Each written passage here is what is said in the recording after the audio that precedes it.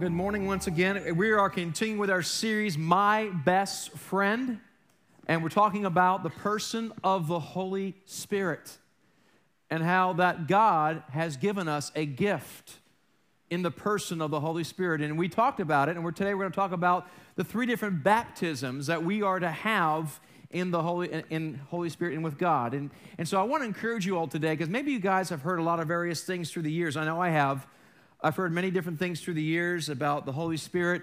And some of you have never even heard there was a Holy Spirit. Some of you have seen a lot of uh, great stuff. Some of you have seen things were not good. And you're like, you know what? I'm not quite sure I want to do all that. Well, I want to encourage you today. I want to encourage you once again to, to kind of leave behind your preconceived notions of what you've experienced in church in regards to the Holy Spirit. And let's just look at the scriptures and let's just receive what God would have for us today. Does that sound like a good idea? Okay, so we talked about the Holy Spirit in the last couple of weeks, and I just wanted to reiterate the, uh, something that's very, very, very important. Jesus came to the planet Earth for two major reasons, all right? And uh, he came to be the sacrificial lamb to take away the, world the, uh, the sins of the world. That was the number one thing he was supposed to do. And if you give your life to Jesus Christ and dedicate your life, your sins can be washed away and have a relationship with God. That is the most important thing that Jesus has done hands down. No, there's no, no disputing that. But there was a second person, a purpose here that he came. And so I just want to stop and pause for a moment. And the reason why we're talking about this today is this How many of you want to live with more power in your lives? How many could use more God in your lives? Jesus said, Greater things will you do than, than these, because I'll go to the Father and I'll send him to you. Who's him? The Holy Spirit. And so God has greater things for us than we're experiencing. We have to stop basing our life on our observation of what we see, and we have to start basing our life on the Word of God and what we stand upon. And so today we're going to talk about that. And Jesus had two purposes. One was to save. The second purpose was when he was 30 years old. And by the way, just to help everyone understand, Jesus was 100% man and 100% God. He's born of a virgin, right? And he had no sin at all. But he left all his godly power behind and became one of us. In other words, he operated out of the same thing you and I operated, except he was perfect. That's a huge thing. All right? And so everything he did, and so he and so he Jesus could have died, could have, could have come to the planet, could have died on the cross, and we all be saved. But something else happened to Jesus. At the River Jordan, his cousin John the Baptist, well, his name wasn't John the Baptist, his name was John uh, he became a Baptist later. I'm just kidding. He wasn't a Baptist. That's okay. Anyhow, probably John the Catholic to be more obvious. But anyhow, for my friends that are over here today, I just want to honor you today. It's so good to see you guys from the seminary. It's a blessing to have you here. You know, Amen. You know what? Anyone that calls upon the name of the Lord is my brother and sister. And so, you know what? We, we, we have a body of Christ that's large as long as we give our lives to Christ and we know He's the only way in truth and life. I count them my brother and sister in Christ. So, anyhow, uh, so what happened was Jesus could have died on the cross, but enough. Then, at the River Jordan, John, his cousin, baptized him with water. He says, Why are you doing this? Well, let's do it for. And all of a sudden, the Bible says the heavens rendered open and the Holy Spirit came down like a dove. And the Holy Spirit is not a dove, but came down like a dove. And when that happened, it said the Spirit came upon him and, and, and, remained. And after that, everything Jesus did was by the power and the person of the Holy Spirit. He had a relationship with the Father. I only do what I see my Father doing. But everything Jesus did, he was like us. But every, everything he did, all the miracles he did, was by the person and the work of the Holy Spirit with the direction of the Father and he said something scandalous. It's, it's to your advantage that I go away, that I may send him. So today we're going to talk about the three different baptisms that you and I need to have the fulfillment of God. Does that sound like a good idea, everybody? Okay? Fantastic. Let's get started here this morning as we move forward. There's three, tap, three baptisms for powerful living, and we could all use that. So let me explain what happens. The Holy Spirit baptizes us in Jesus when we give our lives to Christ. The Holy Spirit brings us to Jesus Christ. The Holy Spirit woos us and speaks to us. In fact, when Jesus told the disciples, receive the Holy Spirit, he breathed on, them, they received it. They weren't yet baptized in the Holy Spirit, but they had the presence of the Holy Spirit within them, but they were not baptized with it yet. Okay? And so what happened is Jesus, before he left and was ascended to heaven, he said, Hey, I want you to wait for the power from on high to fall. Don't leave Jerusalem until the power from on high falls. And that's what he told them to do. Basically, he's saying, Listen, I didn't leave home without it, neither do you.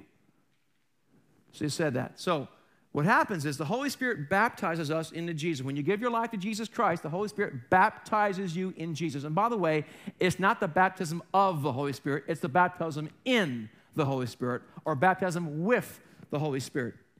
So that's what begins to happen. And so people often say, well, there's only one baptism. So what's all this about three different baptisms? I don't see that in my Bible. Let's look at it right here. The Bible says in 1 Corinthians, for by one Spirit we will all baptize into one body. You know, we have one God in three persons Father, Son, and Holy Spirit. Okay? Whether Jews or Greeks, whether slaves or free, and have all been made to drink of one Spirit. So people would say there's only one Spirit. That's true, but they're in three different um, personalities as we look at that. And so that's how it works. So the Holy Spirit baptizes us in the body of Christ. Now, the controversy is this Do we have to be baptized in the Holy Spirit? You, don't have to be baptized in the Holy Spirit to be saved. You don't. But Jesus says, don't leave without it. And so we're going to talk about that today. And, and let me just show you the three different baptisms a little bit as we go through the Great Commission. The Holy Spirit baptizes believers into the body of Christ. That's what the Holy Spirit does. He baptizes us in the body of Christ. Jesus says the following Go therefore and make disciples. Disciples are followers. Make disciples of all nations. Nations means ethne, which means people groups, right? Baptizes, fully baptizing in what? Them in the Father and the Son and the Holy Spirit. You see, one Spirit, one baptism? Well, it's all I need is one Spirit. No, it says baptize them into three different ones. And so Jesus clearly tells us to do that. And so, this is part of our calling as believers to make sure that we're baptized in these three. And it says in Romans 6 3 and 4, it says, when we, says that when we are water baptized, we are, we, we are with Christ, we die with Christ, and we rise with Christ. And Ephesians says there's one baptism. So, what happened was in Matthew 3:11, John the Baptist says the following. He says this before we do that, the Holy Spirit baptizes us into Jesus. I'm going to show you the outline for the next period of time here. The Holy Spirit baptizes us into Jesus. The disciples baptize us in water. And Jesus baptizes us in the Holy Spirit. Now, listen, I want you to, I'm going to be doing a lot of preaching today. It's my own word. It's teaching and preaching put together. So I want you to put your school caps on today. Normally it's a little more inspirational, but we're going to get a little bit of work here because we need to understand uh, who the Holy Spirit is and how we can access and receive the Holy Spirit, and that's all part of it, okay? Now, when John, when John was speaking to, to the disciples, they were not disciples yet. This is Matthew chapter 2. Matthew chapter 2, John was going around baptizing different people. And this is what he said I indeed, this is John, baptize you with water unto repentance, but he, that's being Jesus, who is coming after me is mightier than I whose sandals I am not even worthy to carry, he will baptize you with the Holy Spirit and fire. Now, this is John speaking here. This is Acts chapter 2. The disciples don't come on the scene to Acts chapter 3. So he wasn't just talking about the 12 disciples, he was talking about everyone that will receive Christ later on. Very, very clear. It's very important that we understand that. And so, what I'm going to do right now is I'm going to show you, we're going to show you in Mark, Luke, and John uh, the four Gospels, we're going to show you that the baptism with the Holy Spirit and in the Holy Spirit is found in all, all four Gospels. There's very few things, by the way, that are in all four Gospels. Let me explain to you. Matthew, Mark, and Luke are called the Synoptic Gospels. Synoptic means similar. That's why you read one. I heard this before. Yeah, that's true. And all three of them um, pretty much uh, chronicle Jesus' third year of ministry. Because after the beheading of John the Baptist, then they talk about that. So, for the last year of Jesus' ministry on earth, they talked about primarily. While the book of John speaks about the first two years of Jesus' um, time on earth, it has a little different, different way it's written. That's why it's not the synoptic. It's one of the gospels, not the synoptic gospels. And in fact, there's few things that are, that are in both all the four gospels. Let me show you what's in all the four gospels. There's several things. The number one, the birth of Christ is in all four gospels. The death of Christ is in all four gospels. The resurrection is found in all four Gospels, and these are important things. The feeding of the 5,000 is in all the four Gospels. That's an important miracle for many different reasons. And finally, the baptism in the Holy Spirit is also talked about and found in all the Gospels. Why is that? Because it is important. It's very important. So we're going to look real quick and we're going to uh, settle on one big point after that, okay? If you want to look and see all the gospels here, Matthew 3:11, all right? Very clearly saying, he's coming after me. He will baptize you. Who? Jesus will baptize you in the Holy Spirit. And so we go to the next scripture here. We see this. The Holy Spirit introduces me to Jesus and Jesus introduces me to the Holy Spirit. Okay, let me just show what happened. The Holy Spirit introduces us to Jesus. And then Jesus says here, um, I want to introduce you now to the person that gives me all the power and all the grace that I have to do the work I did. I want to introduce you into the Holy Spirit. I want to baptize you in the Holy Spirit as I was baptized. So the Holy Spirit introduces, excuse me, introduces me to Jesus, and Jesus introduces me to the Holy Spirit. I indeed baptize you with water, John, and once again, but he will baptize you with the Holy Spirit. Clearly, it's in Matthew, it's in Mark. Okay, it's in Luke. John answered and said, I indeed baptize you with water, but one mightier than I is coming, whose sandal strap I'm not worthy to loose. He will baptize you with the Holy Spirit and fire. Then we also see in John, I did not know him. This is John the Baptist speaking here. I did not know him, but he who sent me to baptize with water said to me, Upon whom you see the Spirit descending and remaining on him. He is, he, he, I'm sorry, I'm remaining on him. This is he who baptizes with the Holy Spirit. Who baptizes with the Holy Spirit? Jesus. Thank you. Okay, so we move forward. So we're going to look at three different aspects of what Christ has done, and it's found in the Trinity as well. There's salvation, which comes through Jesus. There's water, which is baptized, being baptized. And then there's this baptism of the Spirit. We're going to look into those three in a few moments, okay? This is all what's happening. Now, let me ask you a question Is Jesus our example? Okay, thank you. I'm glad you said that, okay? Jesus is our example. As the Father sent me, so I send you. Okay, now, did Jesus, was Jesus baptized in the Holy Spirit? You're not quite sure? Okay, I'll help you out a little bit. Okay. And you know, God anointed Jesus, which means like, you know, anointed Jesus with the Holy Spirit and with power.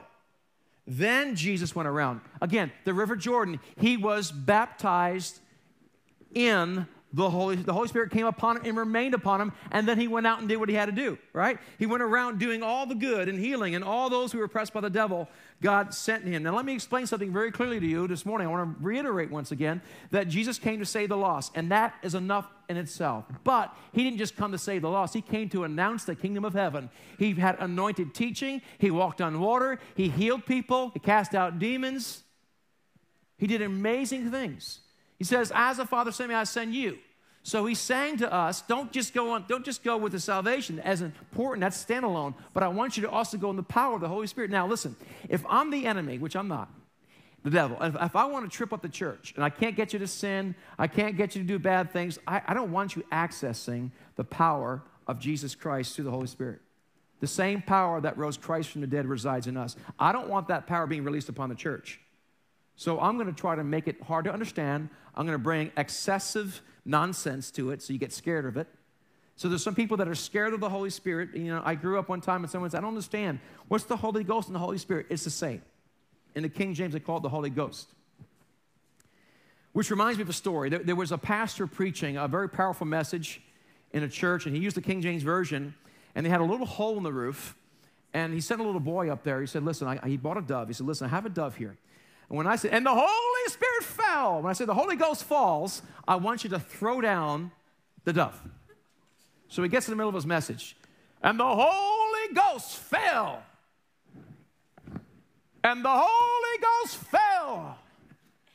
And the Holy Ghost fell. And all of a sudden, he, and he says, Pastor, Pastor, Pastor, um, the cat ate the Holy Spirit. Do you want me to throw down the cat? I suggest he does. Anyhow, I'm sorry. I love cats.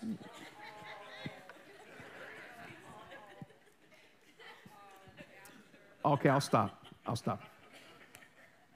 When we're born again, the Spirit of God is in us, but God wants us to be baptized with the Holy Spirit. He really does.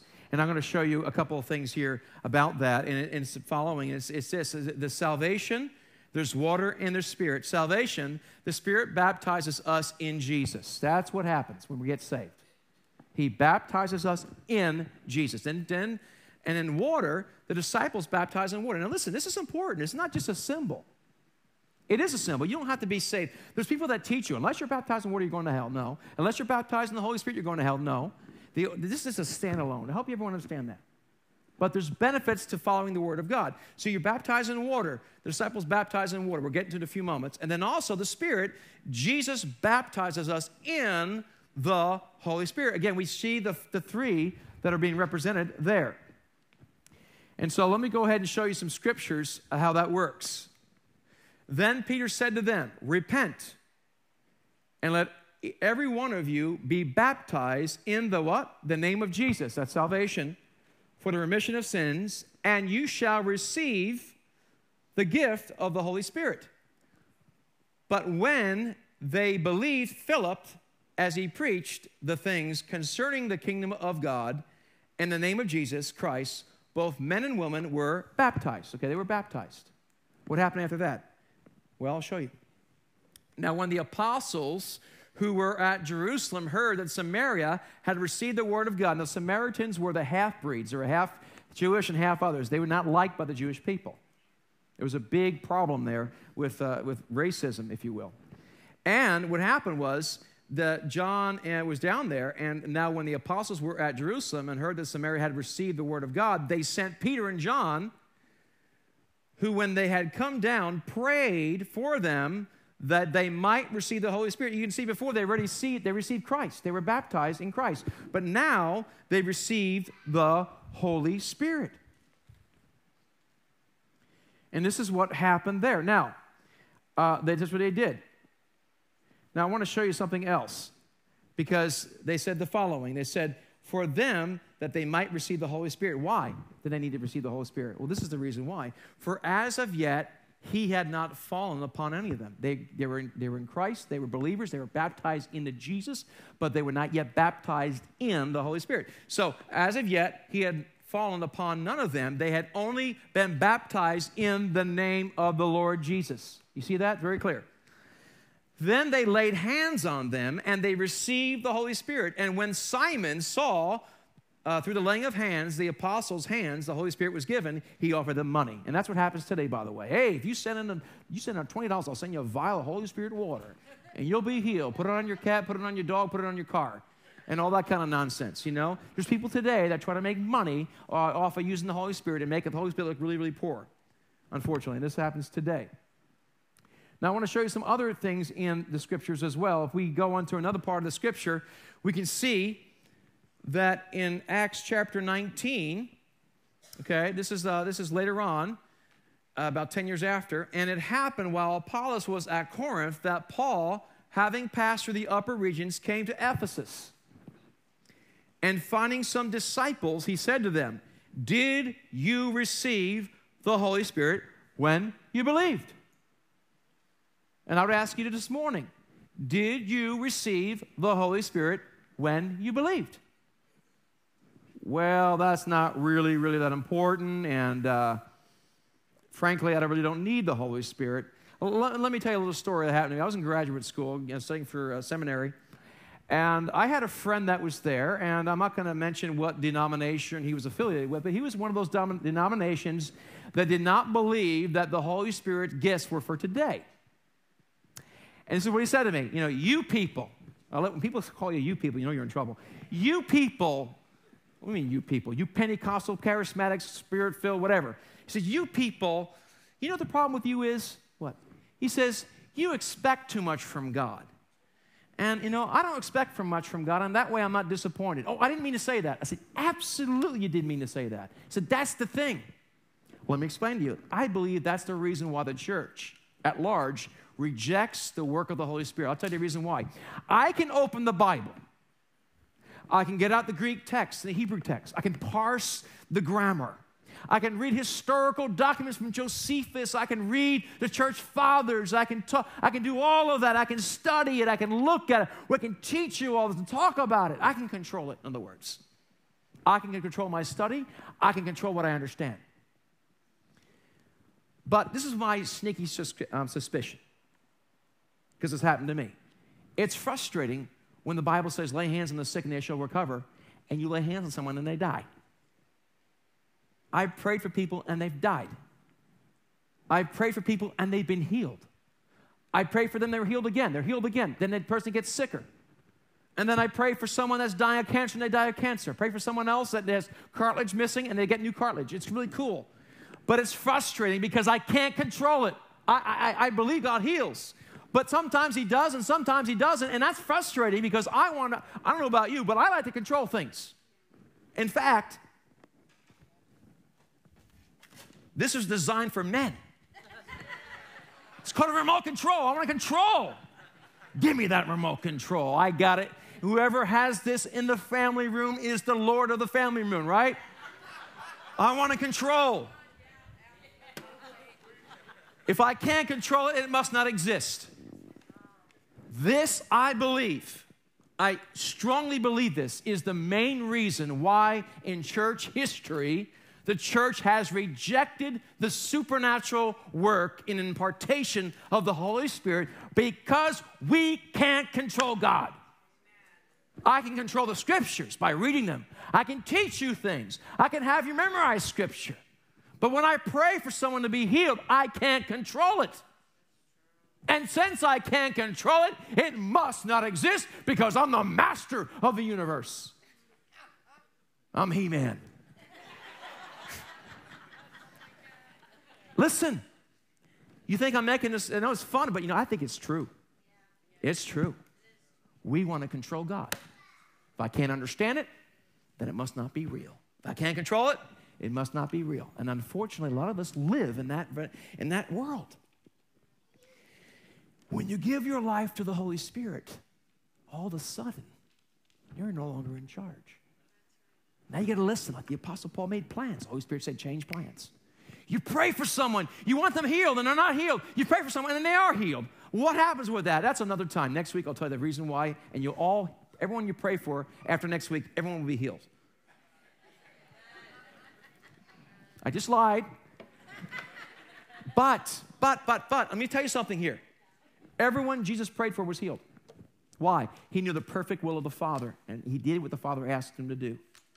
He said, Greater works will you do since I go to the Father. Well, I don't see it. Well, you know what? My grandfather was born in 1898. William Harkuff, good German, born in Germany.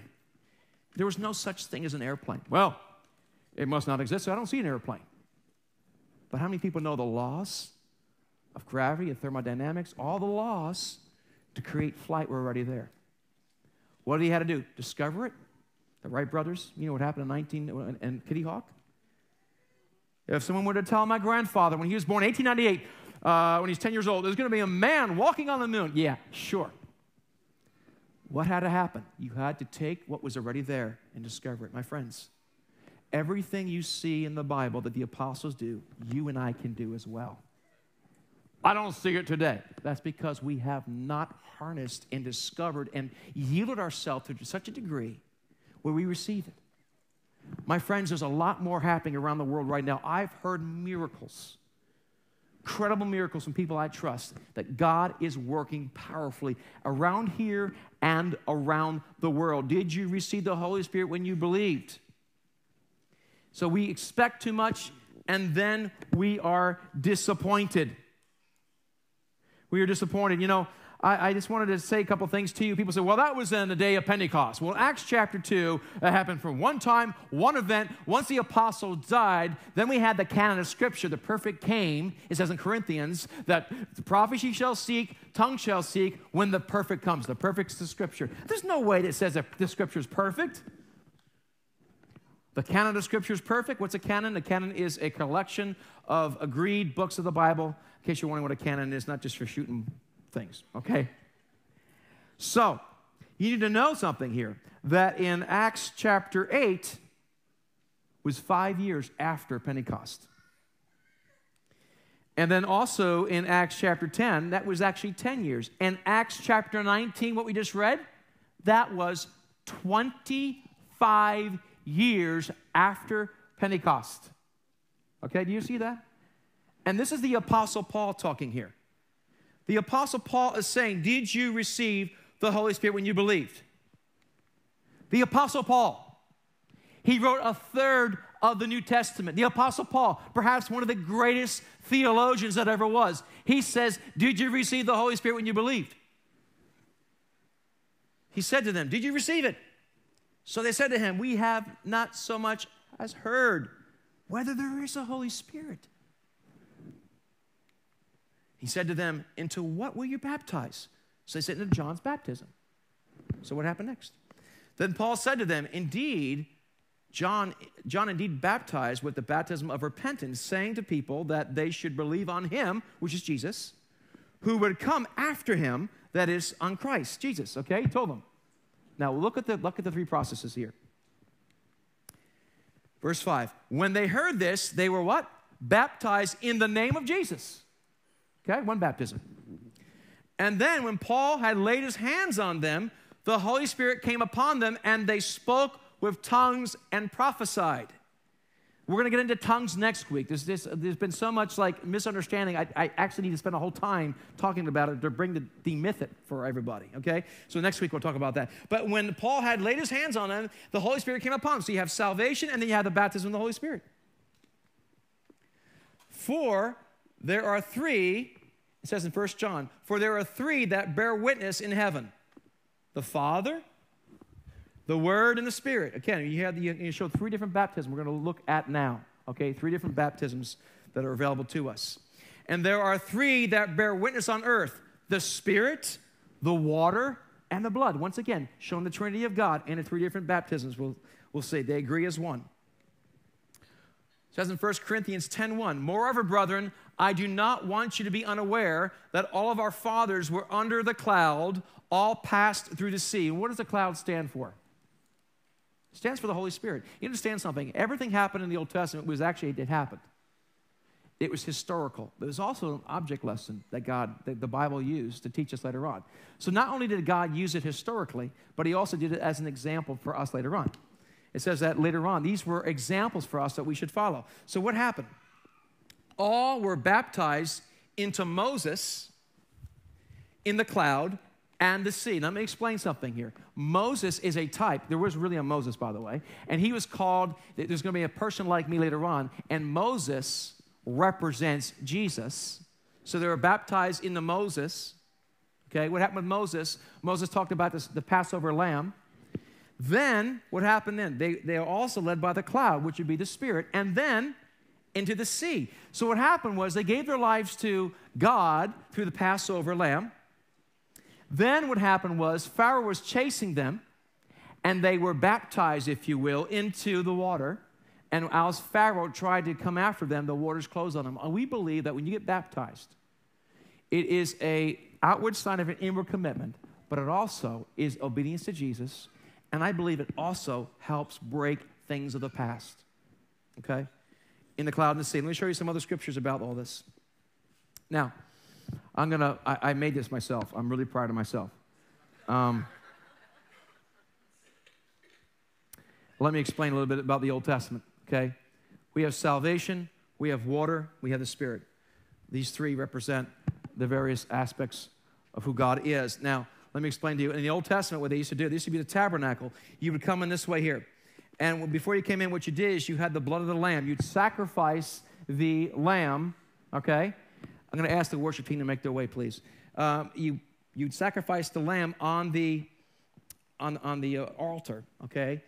Then, after you did that, you would wash yourself in the water, laver, okay, the water.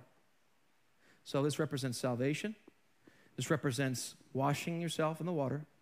And then the Spirit was the flask of oil, which represents the Spirit. So before they went into the Holy of Holies, they would have to sacrifice, they'd have to wash, and they'd have to anoint. Then they would go in. Now, what would happen? You, know what? I, I, today I'm kind of, I'm in a rush. I was on Facebook too long. Well, let me just go ahead and just do the blood of the lamb, and let's back, let's bypass the water and the oil. What would happen if they bypassed these three and went in here? What would happen? They would. You guys are scholars. They would die. Now, uh, am I suggesting today that if you're not, if you want to get baptized in Jesus and you're not baptized in the Holy Spirit, you're going to die and go to hell? No. But could it be that some of your spiritual lives are pretty dead because you refuse to receive what God has for you? Could it be that the case? Could it be the reason why you're not having victory in your life partially is because you're not embracing the three baptisms of Christ? God not only wants you to give your life to Him, that's the most important, but He also wants you to obey Him through the water of baptism. And you need to be empowered with the baptism in the Holy Spirit. It's available to everybody. Well, I don't want to do that. I don't like that. You know what? Since when do we tell God what we're going to do? Jesus needed the baptism in the Holy Spirit. So I guess I don't want to do that. So I guess that means that you are better than Jesus. Is that what it means? Jesus says, The Father sent me, so I send you. So I don't like that. Well, since when? And the Bible says this. I know you know it's not very politically correct, but it says this. Do you not know you were bought with a price? Glorify God in your body. You realize when you give your life to Christ, He's yours. Do you want to walk around defeated and dead in your spirit? You want to be a, a, a, you know a, a wimpy Christian that never gets anything done, or do you want to be a person that is in obedience to Christ? Listen, let me explain something very clear. God's not like this. Hmm. Well, if you get baptized in water and the Spirit, then maybe I'll give you my blessing. That's not how God is. God is like, listen, I want you to experience all that I have for you. Jesus says, you know, don't go without the Holy Spirit. And just because you can't control it, it must not exist. We don't have that option. We have a world that is in turmoil. Our country is in really deep, deep, deep, deep, deep trouble. The politicians sure can't, I mean, it's a complete mess. People yell, the Republicans, the Democrats, and they sit there and yell at each other, nothing gets done, and we're putting our hope in that. That's not our hope. The hope for our country is Jesus Christ. The hope for our country and the world is the church arising and being the church. Nero couldn't stop it. Rome couldn't stop it. The Vandals couldn't stop it.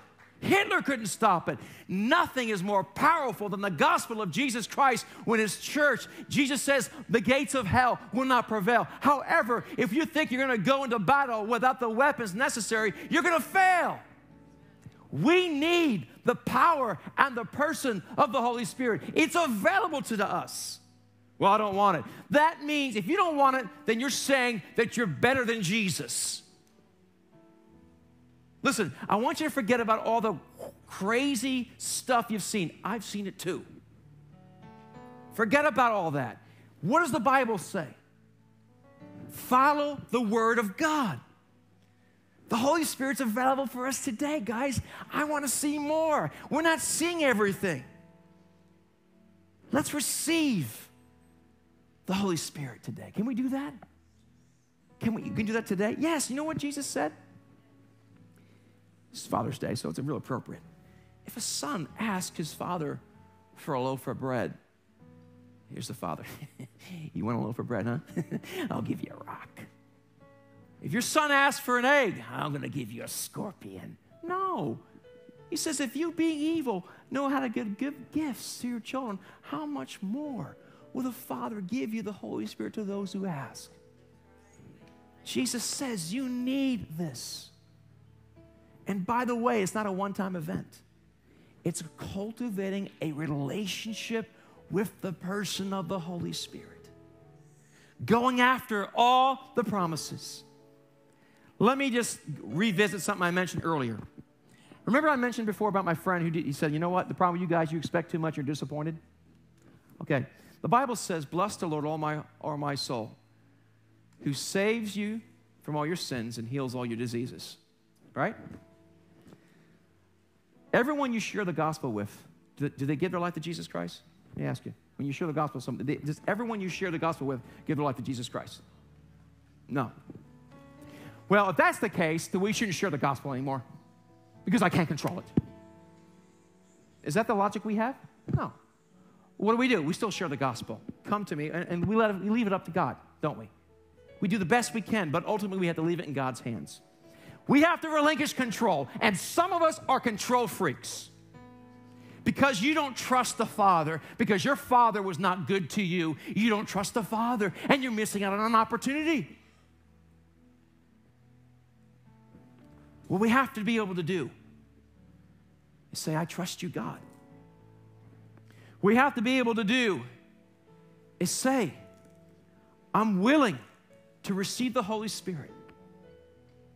And I'm willing to step out in faith and be the person that God has called me, the man or the woman God has called me to be.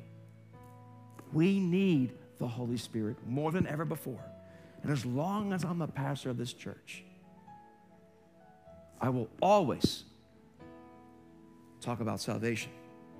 I'll always talk about water, and I will never stop talking about the person of the Holy Spirit. My God, we need more of Him.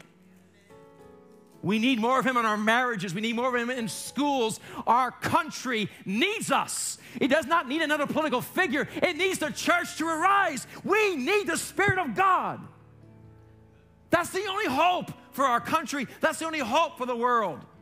We got to do our job, guys. We need the Spirit of God. Will you all stand? Come on, let's all stand tonight today. Will you give your life to God today? Come on, we need Jesus.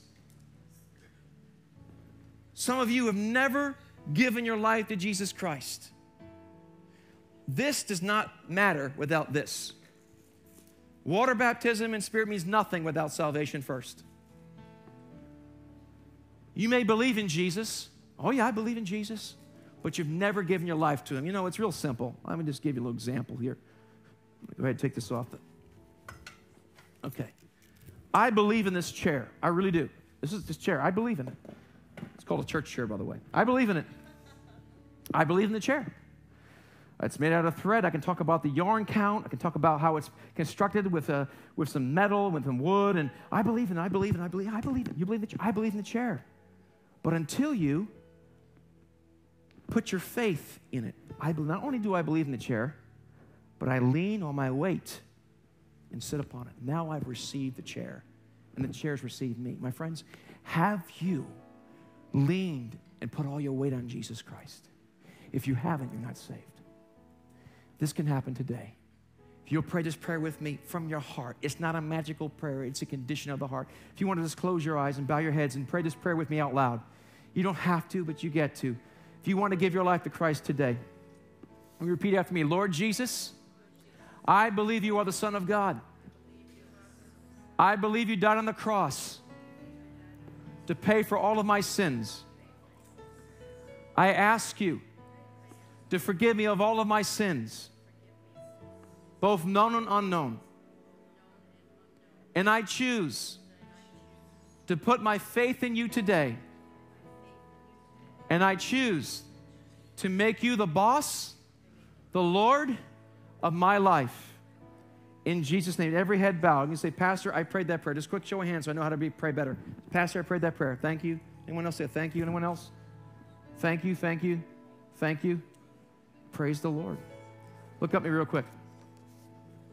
Right on this card, it says, I accepted Jesus today as my Savior for the first time. If you made every commitment, sign that too.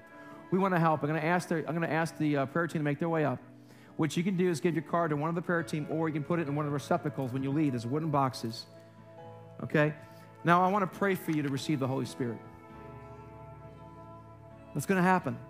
God's word is true. Just like you prayed salvation, you can pray for the Holy Spirit. The Bible says you ask it, you receive it. It's that simple. You walk in faith. So I'm going to ask you to pray right now with me. I'm going to pray out loud. You're going to pray with me. Lord Jesus, you said that we will be baptized in the Holy Spirit if we ask. And so, Jesus, I ask you right now to baptize me in the Holy Spirit. I receive the Holy Spirit in faith. I thank you. I am now baptized in the Holy Spirit.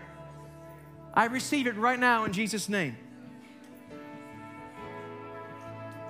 Let me say something to you. Is that all? Yeah. You don't have to run around and cut yourself like the prophets of Baal. You don't have to go through a bunch of charades. You ask it, you receive it in faith. Now, if I give you a bunch of gifts underneath the Christmas tree, it's in your house, right? But now we need to unwrap the gifts and learn how to use them. I can buy you a brand new bicycle from Toys R Us. And if you're a father, we've all put those wretched things together. Well, you have to follow the instructions, right? You put the bike together. Listen, these gifts are beautiful. They're for us. But what we must do is we must go after them, learn how to utilize them, and do it in grace and in love. Next week, we're going to speak about speaking in tongues. And I guarantee you, it would not be crazy and weird. It's, it's, it's beautiful. God has given to the, to the church. You can be filled with the Holy Spirit. Let's go ahead and sing that song. Holy Spirit, you're welcome. Let's go ahead and do that today as we conclude our time.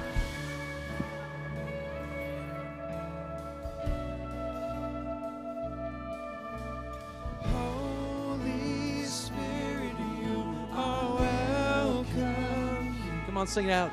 Come flood this place and fill the atmosphere.